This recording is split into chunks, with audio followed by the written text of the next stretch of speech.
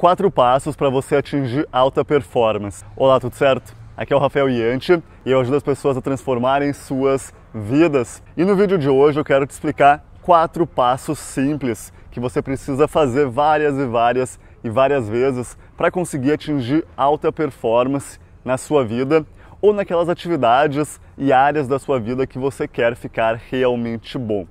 Esses quatro passos são bem simples. Eles são, primeiro, você precisa estudar um pouco sobre o assunto, entender como é que funciona aquele assunto. Depois você precisa, de fato, praticar aquilo. Mais tarde você precisa analisar como você está indo naquela, naquela habilidade. E por fim, você precisa descansar, se permitir relaxar um pouco, parar de pensar naquela prática, pensar de parar em ficar bom naquilo, simplesmente descansa e depois você volta o ciclo e faz isso de novo. Começa a estudar mais, aprender um pouco mais sobre o assunto, entender técnicas melhores daquela arte que você quer ficar bom. Depois você precisa de novo praticar, depois você precisa de novo uh, analisar como que você está indo nesse processo e por fim descansar novamente. E conforme você vai dando esses ciclos aqui, você vai ficando um pouquinho melhor a cada vez que você faz aquilo.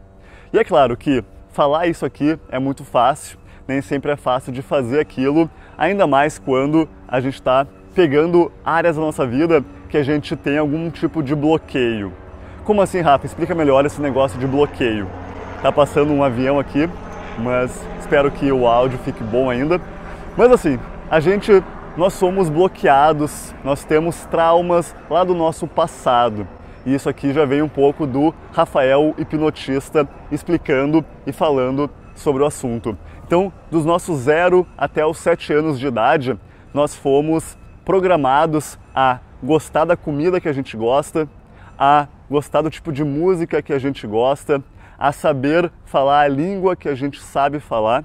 Então, dos nossos 7 até os do zero até os 7 anos, a gente foi programado em vários aspectos. A gente era uma esponja, basicamente, que absorvia todas as informações.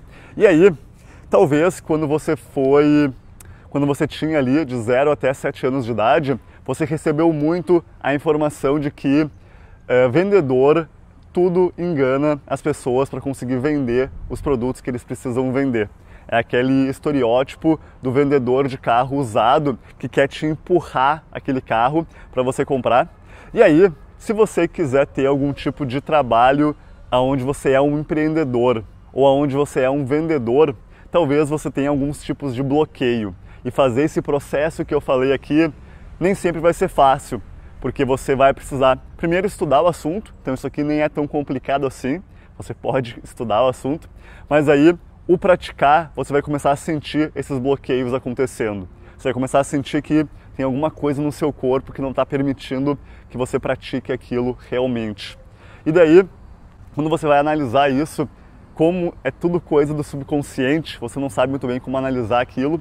E por fim, eh, você precisa descansar ainda, mas como você não está conseguindo fazer a prática direito, às vezes também é difícil descansar. Mas aqui eu estou entrando em outros assuntos que eu não quero entrar muito a fundo ainda nesse vídeo. Então, eu quero te dar alguns exemplos aqui uh, de como que isso funciona com algumas, com algumas práticas. E aí talvez você entenda que você pode aplicar isso em outras práticas, em outras coisas que você quer ficar realmente bom. Então, eu já disse aqui que existe então essa dificuldade dos nossos bloqueios. Então, cada pessoa vai ter bloqueios diferentes em diferentes áreas. Tem pessoas que vão ser supernaturalmente boas em vendas e aí eles vão uh, vão ter facilidade em fazer esse processo e ficar realmente bom em vendas, ter resultados incríveis vendendo produtos, vendendo casas, carros, bicicletas. Mas tem pessoas que não, que esse processo de ficar realmente bom em vendas não vai ser tão simples assim. Mas legal, como eu disse, não é bem esse o foco do vídeo, conseguir desbloquear isso agora. Eu tô querendo mesmo que vocês entendam esse ciclo de estudar, praticar, analisar e, por fim, descansar. E esse ciclo eu quero explicar aqui como você querendo aprender a jogar xadrez. Mas claro, você pode aplicar isso para aprender a vender, aprender a criar uma empresa, aprender a fazer investimentos em imóveis, aprender a andar de bicicleta, todo tipo de aprendizado novo, todo tipo de atingir maestria em alguma coisa, você vai precisar usar esse ciclo de uma forma ou de outra. Mas aí eu quero dar o exemplo de que imagina que você quer aprender a jogar xadrez. E aí, para você aprender a jogar xadrez, você vai precisar entender um pouco sobre como aquilo funciona. Você vai precisar estudar um pouco as regras do xadrez. Mais tarde, você vai precisar começar a praticar xadrez, começar a jogar contra um oponente, contra um mentor, contra alguém que também saiba jogar e que talvez esteja um pouquinho só acima de você nesse jogo. E aí, conforme você aprender um pouco e já foi praticando, você já pode analisar como que você foi nessa prática. E essa análise aqui, ela é muito boa porque aí ela faz você praticar de forma deliberada. Você não só pratica por praticar, porque é um hobby, porque você faz aquilo. Na verdade, é muito bom fazer atividades como hobby, é muito bom ter esses hobbies, porque nesse momento aqui você pode estar descansando de outras áreas da sua vida, mas vamos pegar as áreas que a gente quer ficar realmente bom e aí você vai precisar analisar para entender como que você pode melhorar essa prática um pouquinho mais a cada vez que você faz aquilo. E aí você pode ter um mentor que possa olhar com você como que foi essa prática e possa te ajudar nesse processo. Ou você mesmo pode ter um caderno de anotações onde você vai anotando como que foi essa prática. E eu já fiz um vídeo bem completo sobre isso, sobre só essa parte da análise. Então aqui embaixo vou deixar um link para você ter acesso a esse vídeo. Mas então você precisa estudar, você precisa praticar, você precisa analisar e por fim você precisa descansar se permite descansar, se permite esquecer esse assunto por um tempo. E aí depois, quando você for voltar a praticar aquilo, é bom você estudar um pouco de novo, porque talvez você tenha coisas a melhorar que você aprendeu aqui nessa análise. Então nessa análise é bom que você pergunte o que, que deu certo na hora que eu estava praticando, o que, que deu errado na hora que eu estava praticando. E por fim, o que, que eu posso melhorar para as próximas vezes. E aí quando você for estudar um pouco mais sobre o assunto, aí você já vai estudar um pouco mais aqueles detalhes que você não está tão bom assim, beleza? E aí, é, quando você for praticar, a sua mente já vai começar a fazer ajustes para ficar um pouquinho melhor nessa prática.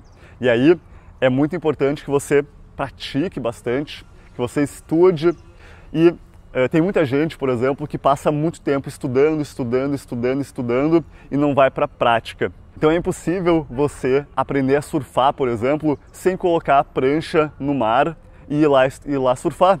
É impossível você aprender a jogar xadrez se você nunca sentar contra um oponente, nem que seja a máquina, para ir lá e jogar e praticar aquilo.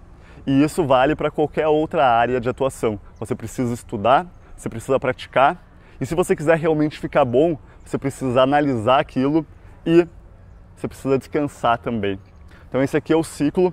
E agora eu quero que você pare um pouco esse vídeo, pegue um papel e uma caneta e comece a pensar quais que são as áreas de atuação que você quer ficar realmente bom. Talvez você queira ficar realmente bom no xadrez.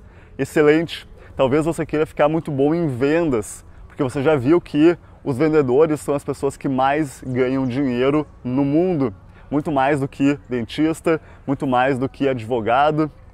Claro que os advogados, que também são vendedores, ganham muito bem. Mas uh, pensa um pouco em quais áreas de atuação vocês querem ficar realmente bom. E aí, uma vez que vocês têm essa clareza de, tá, Rafa, eu quero ficar muito bom em gravar vídeos que nem tu faz. Pô, legal. Então, para isso, você vai precisar estudar um pouco, e praticar e analisar e, uh, e descansar. Então esse aqui é o ciclo e uma vez que vocês têm essa clareza, aí o próximo passo é fazer esse processo. E se tiver bloqueios acontecendo, aí você vai precisar começar a entender o que, que está te bloqueando, entender qual que é a mensagem negativa que você tem sobre aquele assunto que possa estar te bloqueando e começar a destravar isso mas isso também é assunto para um outro vídeo. Se vocês quiserem que eu faça mais vídeos sobre isso, falando sobre como se desbloquear quando você tá, uh, tem uma parede de vidros, por exemplo, na sua frente, você não consegue ultrapassar aquilo, você não consegue muitas vezes fazer a prática que você precisa fazer, deixa aqui embaixo um comentário que eu gravo novos vídeos falando sobre isso, beleza? Mas é isso. Então eu quero só explicar que eu também não sou perfeito. Quero deixar esse vídeo aqui bem honesto. Eu não sou perfeito. Tem muitas vezes que eu falho nesse processo aqui também, que eu não analiso tudo que eu precisava analisar ou que eu fico estudando, estudando, estudando, estudando e não ponho muita coisa em prática. Isso tudo é um processo, isso tudo é uma evolução constante e uh, eu quis fazer esse vídeo para explicar bem esse processo aqui dessas quatro etapas que você precisa fazer várias e várias e várias vezes para você ficar realmente bom em fazer alguma coisa. Bom pessoal, mas é isso então. Esse vídeo vai ficando por aqui. Se você gostou, deixa aqui embaixo um comentário me dizendo o que, que você achou. Se você gostou mesmo e acha que esse tipo de informação possa ser útil para outras pessoas, compartilha esse vídeo com pelo menos um amigo seu e a gente se vê de novo no próximo vídeo. Até mais!